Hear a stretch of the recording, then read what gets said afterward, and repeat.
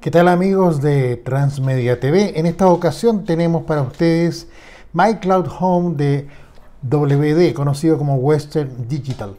Esta es una unidad que la tenemos acá y que es de 4 terabytes y va conectada, ahí está, se conecta al router vía Ethernet, el otro es el enchufe que va a la corriente y tiene una entrada para USB y de esa manera alimentar estos 4 terabytes.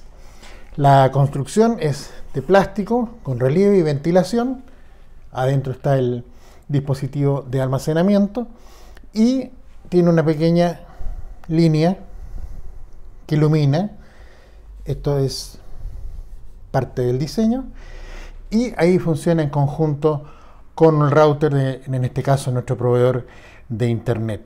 Eh, cuenta con porque esto es cómo, cómo va a funcionar, cómo, cómo le puedes sacar el máximo provecho. Pues bien, la caja nos indica el cómo se hace la conexión.